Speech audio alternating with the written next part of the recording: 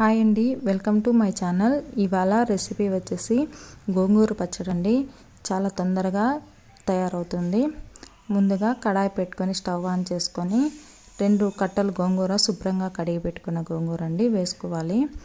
అలాగే పచ్చిమిర్చి ఒక తొమ్మిది నుంచి పది పచ్చిమిర్చి అండి. కాస్త వాటర్ వేసుకొని ఒక ఐదు నిమిషాల పాటు ఉడికించుకోవాలి. ఇది ఇలా ఉడికిన తర్వాత చూడండి వాటర్ అనేది ఇంకా ఎక్కువ ఉంది కదా. ఆకు అనేది తొందరగానే ఉడుకుతుందండి కానీ పచ్చిమిర్చి ఉడకడానికి కొంచెం టైం పడుతుంది.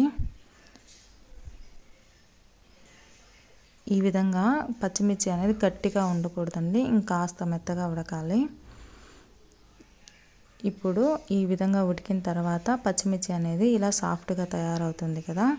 ఇప్పుడు దీన్ని పూర్తిగా చల్లారిన తర్వాత మిక్సీ జార్లోకి తీసుకొని రుచికి సరిపడినంత ఉప్పు వేసుకొని గ్రైండ్ చేసుకోవాలండి. మరి మెత్తని పేస్ట్ లాగా కాకుండా మనం రోట్లో దంచితే వచ్చేంతలాగా చేసుకోవాలండి. అలా ఇప్పుడు పోపు కోసం స్టవ్ ఆన్ చేసి కడాయి పెట్టుకొని రెండు స్పూన్ల నూనె వేసుకొని కొద్దిగా వేడైన తర్వాత ఆవాలు జీలకర్ర మినపప్పు శనగపప్పు అన్నీ వేసుకొని కాస్త ఫ్రై చేసుకోవాలండి. ఇవన్నీ మనం పచ్చడిలో నోటికి అప్పుడప్పుడు తగిలితే చాలా టేస్టీగా ఉంటుంది.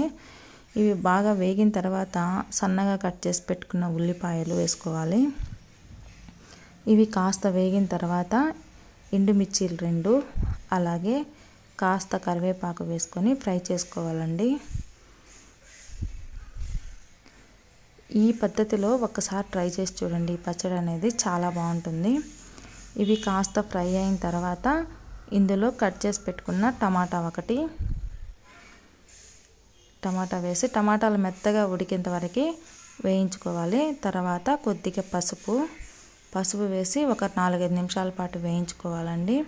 ఇప్పుడు మిక్సీ జార్లో వేసి పెట్టుకున్న గోంగూర పచ్చిమిర్చి మొ పేస్ట్ మొత్తం ఇందులో వేసేసుకొని ఒక నాలుగైదు నిమిషాల పాటు ఉడికించుకోవాలండి. నీళ్ళు అనేది యాడ్ చేయకుండా ఉడికించుకుంటే ఇది రెండు మూడు రోజుల పాటు ఫ్రిడ్జ్లో లేకుండా బయట ఉన్నా కానీ నిల్వ ఉంటుంది చాలా అంటే చాలా టేస్టీగా ఉంటుందండి ఈ పచ్చడి అనేది.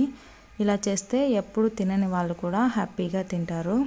వేడి వేడి అన్నంలో కాస్త నెయ్యి వేసుకొని ఈ పచ్చడి వేసుకుంటే చాలా టేస్టీగా ఉంటుంది మీకు నచ్చితే లైక్ చేయండి షేర్ చేయండి సబ్స్క్రైబ్ చేసుకోండి.